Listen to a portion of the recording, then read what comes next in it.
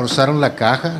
Primera, primeramente amordazaron a los guardias y forzaron la caja y, y se llevaron el efectivo que tenía la urna. Esa es la urna, parece ser que con sopletearon, sopletearon el,